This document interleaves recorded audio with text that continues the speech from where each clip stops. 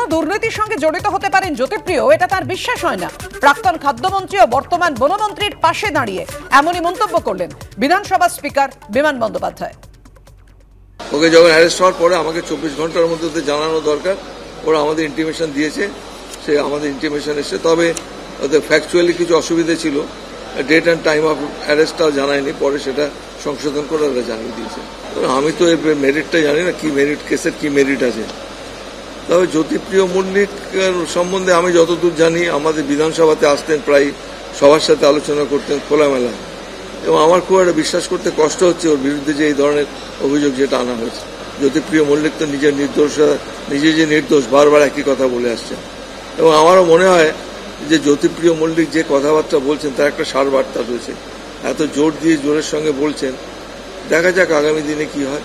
তবে জ্যোতিপ্রিয় মল্লিক সম্বন্ধে ব্যক্তিগতভাবে আমি মনে করি অনেক খোলামেলা মানুষ এবং অনেক আমার তো মনে হয় না কোনো ইনভলভমেন্ট আছে। থাকতে পারে থাকতে পারে তদন্ত হবে। নিয়োগ দুর্নীতি মামলায় জেলবন্দি কুন্তল ঘোষের ফ্ল্যাটে এবার হানা দিল ইডি। রাজারহাটের এই ফ্ল্যাট থেকে চলতি বছরের জানুয়ারিতে গ্রেফতার হন কুন্তল। সূত্রের খবর, ঘুর পথে ফ্ল্যাট বিক্রির চেষ্টা হয়েছে এমন তথ্য পেয়ে আজ তদন্তে আসেন কেন্দ্রীয় এজেন্সির তদন্তকারীরা। ফ্ল্যাট তালাবন্ধ দেখে আবাসনের অফিসে যান ইডির অফিসাররা। রাজারহাটের ওই আবাসন কর্তৃপক্ষের দাবি, এখানে কুন্তল ঘোষ ভাড়া থাকতেন। ওই ফ্ল্যাট বর্তমানে বিক্রি হয়ে গিয়েছে।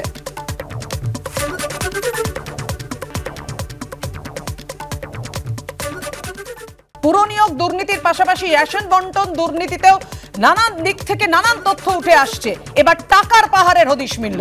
টানা সাতাশ ঘণ্টা তল্লাশিতে কলকাতা জেলা মিলিয়ে এখনও পর্যন্ত আঠেরো কোটি কুড়ি লক্ষ টাকা বাজেয়াপ্ত করেছে ইডি। সূত্রের খবর, এর মধ্যে অঙ্কিত ইন্ডিয়া লিমিটেডের কলকাতা এজেসি বোর্ড রোডের অফিস থেকে বাজেয়াপ্ত করা হয়েছে এক কোটি টাকা। রেশন দুর্নীতি তদন্তে আরও কয়েকটি অফিসে তল্লাশি চালিয়ে বাকি চল্লিশ লক্ষ টাকা মিলেছে। আপনারা জানেন, ইডির আধিকারিকরা প্রায় সাতাশ ঘণ্টা তল্লাশি চালায় এবং এরপর এই টাকার হদিশ মিলল।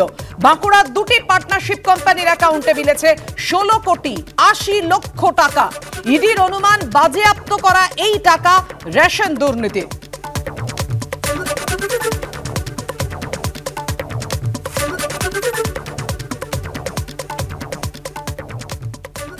আর বারবার যে প্রশ্ন উঠে আসছিল যে কালো টাকা সাদা করতেই কি বিভিন্ন জায়গায় এতগুলো কোম্পানি খোলা হয়েছিল চার মাসের মধ্যে তিনটে কোম্পানি যেটা জানা যাচ্ছে, বাঁকুড়ার ঠিকানায় খোলা হয়েছিল দুটি কোম্পানি কালো টাকা সাদা করতে।